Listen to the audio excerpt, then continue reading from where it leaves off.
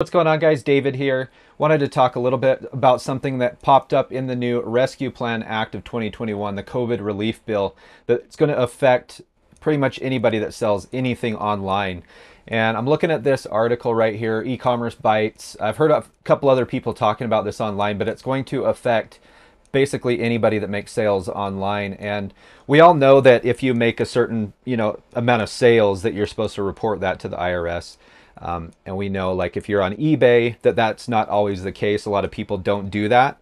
Um, well, changing in 2022, you're not going to have a choice. So um, that limit was recently changed inside of this this new bill from 20,000. So any of these payment processors like PayPal, um, you know, which eBay uses, anytime you break $601 now or break $600, they're going to trigger a 1099. And at the end of the year, the tax man's going to be coming for that for that money back. So um, this is a big change from 20,000 or 200 transactions to only $600. That's nothing.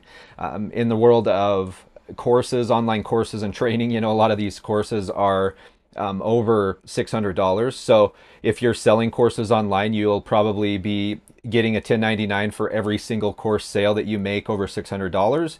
Um, and I don't know how all this is going to change and shift by the time that, by the end of this year, but it's something that you need to be thinking about. Another reason accountants are going to be in high demand. So if you do not have an accountant already and you really want to be serious about online selling, um, moving forward, you might want to check in to get an accountant to help you out with this stuff because it's very important to um, get yourself prepped for this. Because imagine, you know, going all year selling and not knowing that you're going to get just a, a, ton of these 1099s back looking for that tax. So um, something to really be thinking about moving forward. Um, like I said, this one is on this article. If you guys want to check it out, is on EcommerceBytes.